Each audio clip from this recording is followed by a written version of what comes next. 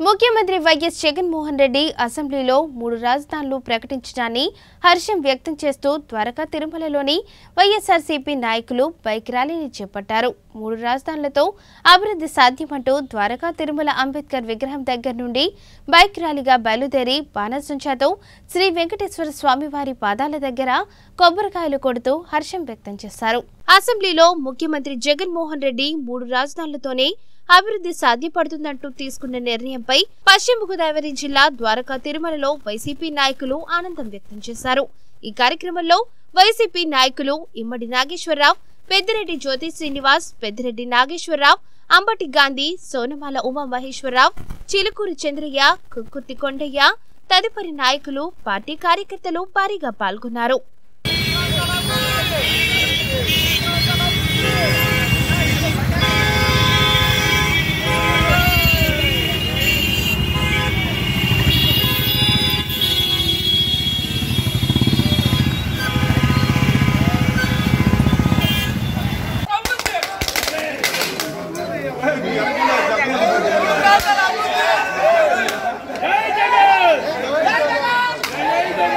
போராட்டம்